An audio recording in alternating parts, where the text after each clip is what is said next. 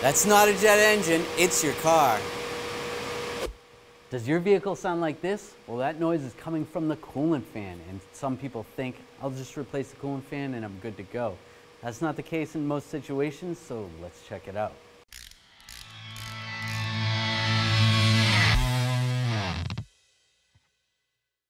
If you need a thermostat, a coolant temp sensor, or a fan, you can get those at 1aauto.com. Every vehicle is a little bit different. You may have one radiator fan or even two radiator fans.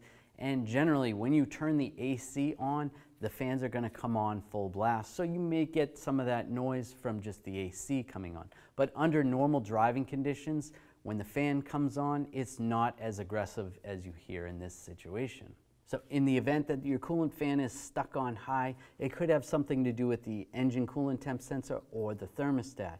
The reason for this is when one of these parts fails, the computer turns the fan on to protect the engine. It doesn't want the engine to overheat and it doesn't know whether the sensor has failed or there's actually a problem with the engine. In most cases, you're gonna get a check engine light and you can scan it with a little scan tool like this, see what code you have. Now just take the connector underneath your dash, find where it plugs in. Most places is right there to the left side. we're going to turn the key on and just follow along. Codes found. We want to read the codes. Engine codes. This is the code we're looking at a P0128, which is a coolant thermostat code. So that's relating to the fans. That's why the fans are coming on. So there's two of those. So this is basically saying that the coolant temperature is not getting up to operating temperature. So like we said, the computer doesn't know whether there's a problem with the temp sensor or if the engine's not working properly or there's a bad thermostat. This little code reader got us in the right direction, but it's not going to give us a lot of information. It just tells us the code, and we could clear it if we wanted to, but that's as far as we can go. We're going to have to use a more powerful scan tool to be able to get some information. Engine coolant temp sensor, we want to check on that. And then we want the intake air temp sensor as well. And we want these as close as possible. Because the engine coolant temp is cold and the intake air temp is cold right now. So that's exactly what we're looking for. If you saw that the engine coolant temp sensor was at negative 40 or 419 degrees, then there's something going on with the coolant temp sensor. But because they're very close together, that's a good indication that the coolant temp sensor is probably working properly.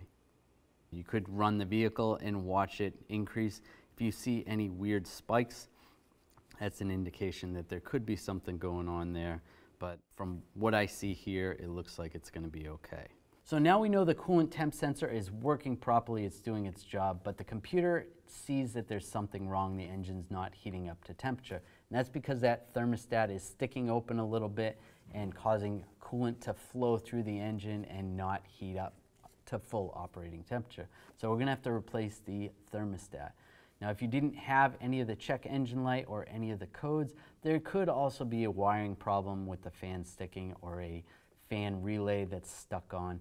That's not as common, but it still does happen. Now we're gonna replace the thermostat. This one comes with a housing, and for this vehicle, it's way down here below the intake. So we're gonna have to take the intake off to do this job. Most vehicles, the thermostat isn't this difficult but some are buried. We're going to start with draining the coolant from the coolant system. That way that when you're doing the thermostat, you don't have a big floodgate. Taking off the radiator cap is going to help that coolant drain a little better. Then you want to take off anything that's in your way. In this case, we have to take the air box off. And any covers that are in the way, we'll have to pull those off, the snorkel. Don't forget to disconnect any connectors you don't want to break any wires. And any hoses that are in the way, you want to pop those out as well. Now because our thermostat is underneath the intake, we have to pull the intake off. And it slides right out of the way, easy to get to. And we take the thermostat bolts out, and then we can access the thermostat housing, and it comes right out. Comparing the old thermostat to the new thermostat, you may not visually see anything wrong with it, but there could be something wrong with the spring. Let's talk about this thermostat. So it's a valve that blocks coolant from going through the engine. The hot coolant is on this side, and as it heats up, it's going to expand this spring, and that's going to cause the valve to open, allow coolant to go through, the cold coolant, and as that cools down the spring, the spring's going to close, and the thermostat will prevent coolant from going through. Now what we could do just to show you that valve open is boil a cup of water and put it in, but that's going to take too long. So what we're going to do is just heat it up with a torch.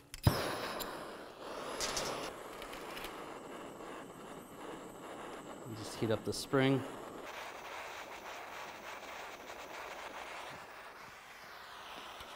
Ah, and you can see it's moving. And the valve's opening. So you can see that the valve's open. Now the spring being all disformed like that, that could be because we're using a torch instead of hot water. But then again, this thermostat was failing, so there could be something wrong with that spring, period. And over time, those springs are gonna break down and they're not gonna work as well, and that could cause the issue with the thermostat. Now we're gonna reinstall the thermostat housing, get it lined up, get the bolts started, and start to tighten those down.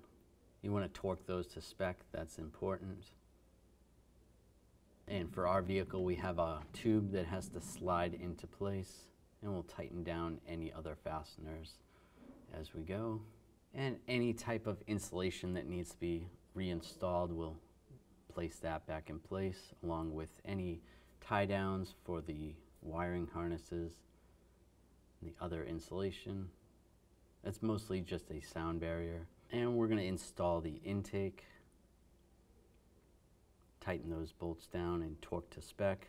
Install any wiring clips and wiring harnesses. And because of our vehicle needing to take out the airbox, we'll reinstall the airbox and the air snorkel. Get that all lined up and tighten those down. Connect the connectors for the mass airflow sensor, lock it down, and add your appropriate coolant. When you topped off all the coolant, you want to run the engine for about 10 to 15 minutes to let it warm up constantly checking the engine temperature and the coolant level and make sure it does not overheat and then let the vehicle cool down. After it's cooled down, you want to recheck the level. The new thermostat's in. Now all we have to do is clear the check engine light, run the vehicle for about 10 to 15 minutes, and our jet engine noise should be gone from under the hood. Now if you had to replace just the coolant temp sensor, it's going to be a little easier than a thermostat. You just got to pull the sensor out real quick and put it back in. You may not even have to drain the coolant down. Erase codes. Yes. Erasing done. All right. Exit. Disconnect the tool and start it up. Now with the vehicle warmed up, the fan is kicked on, and you can see that it's not that big rush of air going, it's just spinning normal speed, and that's how it's supposed to run when the engine's running normally, not that huge jet engine noise. So there's nothing wrong with the fan when it's running like that. It's another component in the vehicle that's just causing the fan to run with that huge volume of air.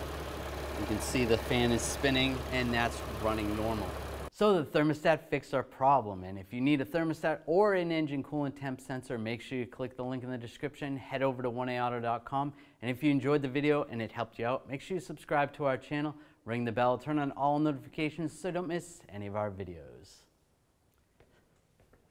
Does your vehicle sound like this? Well, does your vehicle sound like this? Well, one side. All right, ready? And if you need, do it again. All right.